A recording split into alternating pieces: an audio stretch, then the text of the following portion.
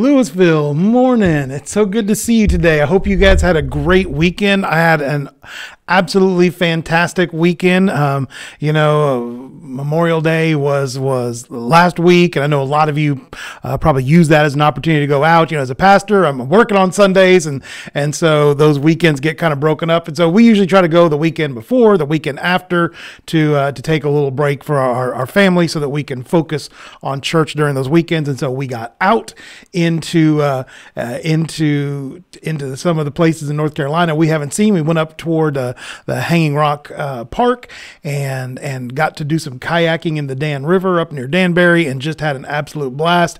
It was such a, a great time to be with with our family. There were four of us. We're, we're still missing one in Oklahoma, but um, but we're glad he's doing what he's doing. I hope you guys had a great week. It was it was absolutely beautiful. I got a, a little bit of sun, but don't think I got too much sunburn. I think I had like one little spot where I missed uh, some suntan lotion, but it was but it was all good. But you know, this month, the month of June, we're going to be spending it talking about uh, family, talking about the importance of family. In fact, this week on Sunday, we talked about kind of the origin of family. Where where did um, you know where did the family come from? Where did we get that institution? And so we went all the way back to uh, all the way back to the time of of of Genesis chapter 1 and 2, Adam and Eve.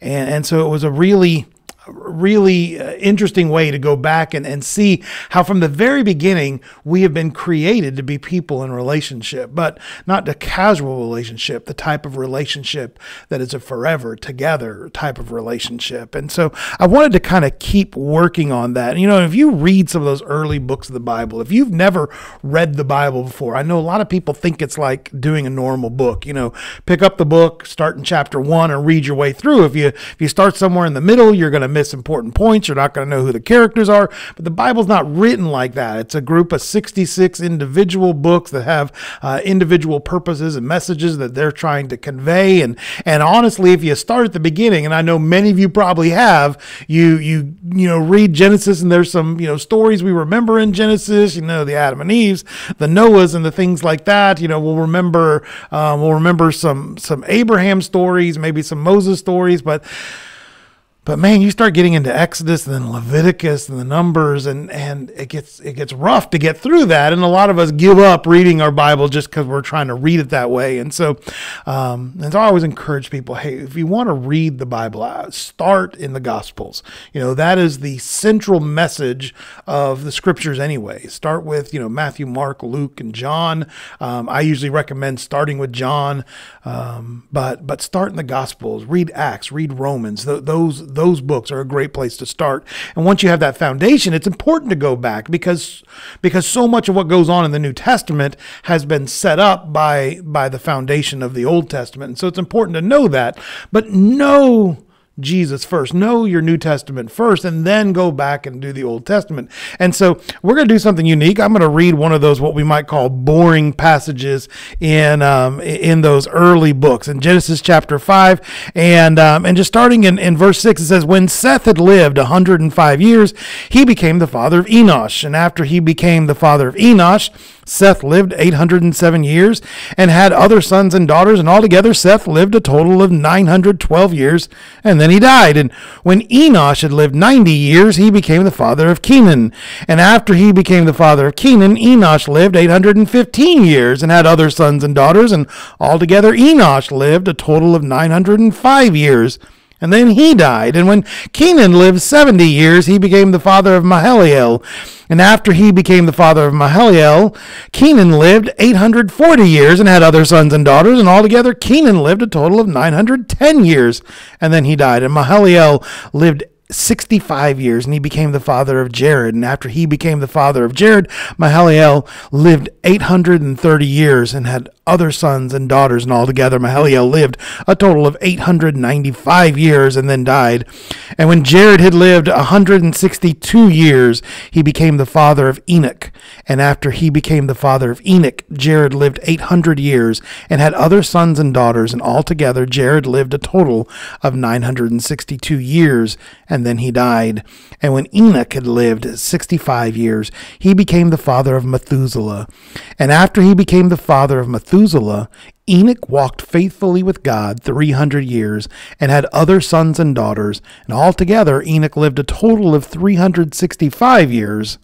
Enoch walked faithfully with God. Then he was no more because God took him away. Uh, you know, this is a, a, great passage to, to just see, you know, hey, here's a guy, he had a kid, he lived this long and, and clearly lived way, way longer than we live today. You can see the effects of being so close to the, uh, the paradise that God had created us to live in, that we were designed uh, to, to be able to do so much more. But the corruption of our world has certainly had an effect on our bodies. But but a lot of times we read those passages, we're like, what's the point of this passage? Why why am I reading this guy names I can't even pronounce? And and I'll give you a hint. If you're ever reading those scripture verses, you know, hit the first letter, the last letter, and the stuff in between. If you can't get it exactly right, just do the best you can. But don't spend five minutes trying to repeat the word and, and trying to get the name Zerubbabel out. It's just not going to happen. Just be comfortable saying the first letter and people will see, oh, it starts with a Z. We know who that is. But we go through this list. Why do we go through this list? Well, I think this list shows us, and, and in other places in scriptures, it shows us how important our family really is. I mean, I know nowadays there are a lot more people that are going in and looking at their ancestry and checking their ancestry. It's not necessarily one of those things that's big on my list. You know, I, I love the people that I knew, but somebody that lived, you know, 200 years ago and came over on a boat somewhere, I'm, I'm not as connected to that. But I know some of us are, you know, it, it's such a great way for us to have this connection uh, to the past past to have this connection to to where our family came from. And and and I, I love to uh, you know I love to think about that when we look at the scriptures. There's a reason why these these genealogies are written in the scriptures. And I look at this particular genealogy and it starts from Adam. If you start at the beginning of the chapter it goes from Adam all the way to to Noah. So Methuselah and we know Methuselah because he's like the oldest man in the Bible. And and Methuselah is the grandfather of Noah. So we we see if we keep following that tree, we get down to Noah, and we know Noah. So we have this list of people from from Adam to Noah, this this line of succession that that God is, you know, making a covenant with Adam. He makes a covenant with Noah.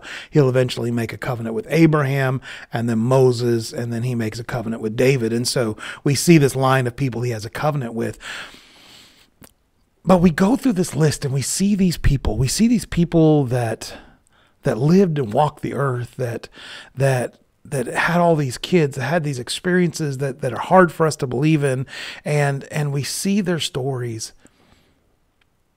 And we know how important that family is. You know, when when God takes Adam and Eve and puts them together and says, you know, this is what's going to happen. You know, you'll you'll leave your father and mother, and the two of you become one flesh.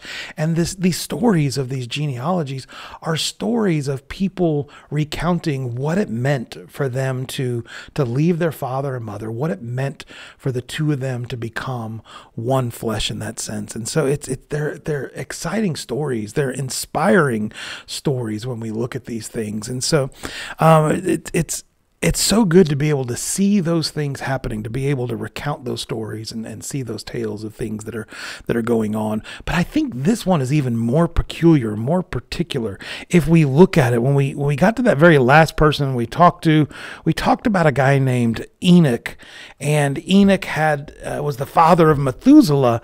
But it tells us something very unique and very interesting about Enoch. If you saw there, it says after he became the father of Methuselah, there in verse twenty-two after he became the father of Methuselah, Enoch walked faithfully with God 300 years and had other sons and daughters. And so we see some things a little different. The pattern changed. We just had this pattern of, of you know, when their first son was born, um, how many more years they lived after that. And then, but with Enoch, it specifically says that Enoch walked faithfully with God. We don't know a lot about Enoch. I mean, this is really all we know, and and he's referenced in the New Testament some, but but we know that Enoch walked faithfully with God, and more than that, it said Enoch walked faithfully with God. Then he was no more, because God took him away. Ooh, because God took him away. I mean, we can think of really only one other incident where we see something like this happening in the Bible. You know, when Elijah and Elisha were together and and it was the end of Elijah's, you know, ministry that he was doing. Uh, they had crossed the river and and he told you know Elijah was like you know can I take over the office for you? And he said if you see me taken away. And that's where we get the the chariot of fire that comes down and snatches him up. And Elijah says I see you and the cloak comes down and he puts on Elijah's cloak and he comes there. But there, there's these rare few people in scripture that that for whatever reason were close to God. And instead of them experiencing death God God took them away, and Enoch is one of those. And how great is that to have that story in the midst of your family tree, to have that story in the midst of who you are? And it gets me thinking what in your family tree when you think back to to your to your parents and grandparents and great grandparents and beyond what are those stories those unique stories in your family that make you say aha you know i have this connection. I know um, I, I know where god was working in my family and what god was doing. I mean i tell the story that um, i graduated from oklahoma baptist university and i wasn't planning on going to oklahoma baptist university. My dad was teaching at hardin simmons university which which is a Baptist college in Abilene, Texas, where I graduated from high school, and kind of had the option to go to some different places. And at the time in Texas where we lived, um, Baylor University was the big Baptist university. If you wanted to be, if you wanted to be a, a, a Baptist leader in Texas, you went to Baylor, then you went to Southwestern Theological Seminary, and and that was kind of that formula for being uh, being connected and a part of the the Baptist scene in Texas. And so that was kind of my plan. I, I knew I was going to be a minister minister. I was going to go to Baylor and and um, went to a uh, one of those college fairs that they do and and and visited this college fair. And and they had like big schools in Texas you know the University of Texas and Texas A&M and and Baylor and Texas Tech. They they were given like like entire rooms where people could come in and hear these lectures. And and so I went to the Baylor lecture and talked to the people that were there and then went to the University of Texas one. That's my dad's alma mater. And so just wanted to see that and have an opportunity. I knew they didn't have a, a ministry program but went and saw what they were doing at the University of Texas booth.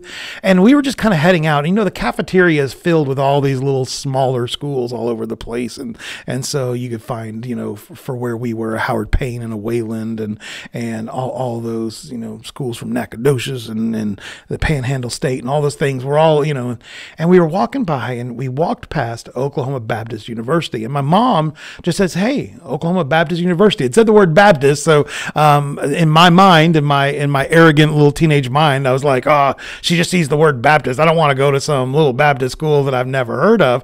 And she starts picking up brochures from it. And I'm like, Mom, I'm not going to Oklahoma Baptist University. And as she's picking it up, she goes, Did you know? Your grandmother and grandfather graduated from Oklahoma Baptist University, and I didn't. I, I, I, didn't know that that's where they had gone. And my grandfather was a, a Baptist minister and a Baptist chaplain for for his entire life, and, and and my grandmother, one of the most godly women I've ever known. And and at that moment, that legacy, that history, that that my grandparents had gone to that school was that seed that the Holy Spirit put in my life and said, you know, maybe it's worth at least taking a look. And weirdly enough, God kept speaking to me, kept speaking to me. Went to Baylor and did the tour down in Baylor. And Baylor, they told me all the great things about Baylor, that they were one of the top two schools for Baptists to send out missionaries and pastors. But the other school, the one that they were neck and neck with, was Oklahoma Baptist University. And I was like, well, God, is this your way of saying instead of going to Baylor, this big school, this huge school that was changing with some of their beliefs and stuff, wouldn't it be better for you to go to a solid, godly Christian school? And that's what I did. I ended up going to Oklahoma Baptist University, getting my first ministry job there, met my wife there, got married while I was a student there, um, took my first uh, paid uh, ministry position, youth and music minister position in Fitzhugh. Hey, Steve, thanks for all your help getting me uh, where I am today. And God used that situation in so many different ways, so many ways that I can't even count uh, the blessings that I've received from from making that decision. And it's all part of that legacy of who of who my family is, what they had done, what they had become, and, and what they had left to me. And so I want to encourage you, you know, in the comments below, tell me something great about your family. Tell me something great about somebody that's in your family tree. Maybe it's not as great as Enoch over here, who uh, who was caught up into heaven, but but maybe it was a story like like mine, where where your grandparents or great grandparents inspired you by something they did, and it helped you become the person that you're going to be. I hope you have a great morning today. I'm going to pray for you and hope that you have a great day today. Our Heavenly Father, God, thank you so much for this day.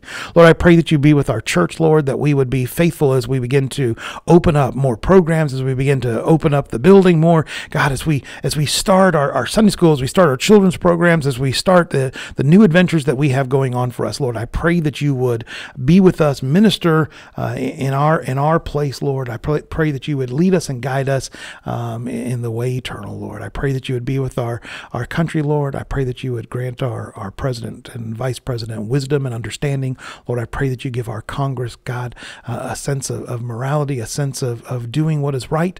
Lord, I pray that you be with our governor and our lieutenant governor. And Lord, I pray that you would help them to seek you in their personal lives and their family lives, God, and the decisions they make that affect all of us. Lord, I pray that you bless us today. Lord, I pray that you bless our town. And Lord, help us bring the gospel message to the people here. Lord, we love you so much. In your name we pray. Amen. Well, God bless you all. I love seeing you guys here. Thanks so much for uh, spending a little time with this morning. I want to remind you tomorrow we're going to be doing this again, but Sweet Tea with the Pastors, we're actually going to try to do down in the Fellowship Hall.